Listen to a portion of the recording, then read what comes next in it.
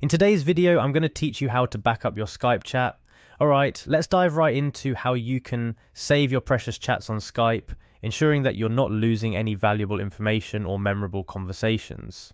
It's a straightforward process that will take about 5 minutes of your time. First things first, you'll need to navigate to the Skype website.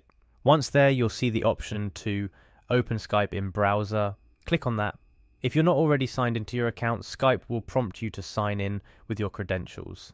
Make sure everything is correct and log in to proceed to the next step. Once you're logged in, look at the top left of your Skype screen for three small dots forming a vertical line. That's your main menu. Give that a click to reveal additional options within Skype.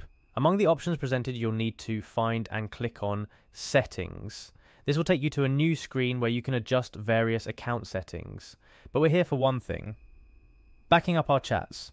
Within the settings menu, look for a section labelled Account and Profile. It should be fairly easy to spot. Clicking on this will take you to a section where you can manage your Skype profile and other account related settings. Next, you'll need to navigate a bit within this section.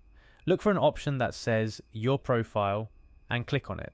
This is where Skype holds detailed information about your account and it's also the gateway to preserving your uh, chat history after clicking on your profile, you're going to see a back icon, usually located at the top left corner of your screen.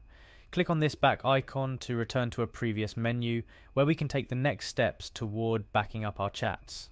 Now, look for an option labelled Export Files and Chat History. Clicking on this option is your first concrete step towards creating a backup of all your Skype conversations. Having clicked on export files and chat history, you'll be taken to a new page. Here you'll see various options for data export, but for our purposes, you just need to focus on the box for conversations. Make sure you click on this box to select it. With conversations selected, the next step is to click on submit request. This tells Skype that you're ready to proceed with the backup of your chat history. Finally, you'll see a confirmation screen asking you to confirm the action by clicking on continue. Go ahead and click continue to finalize your request. And that's it. You've successfully initiated the process to back up your Skype chat history. Remember, depending on the size of your chat history, it might take a little bit of time for the backup to be ready. Skype will notify you once everything is ready to download.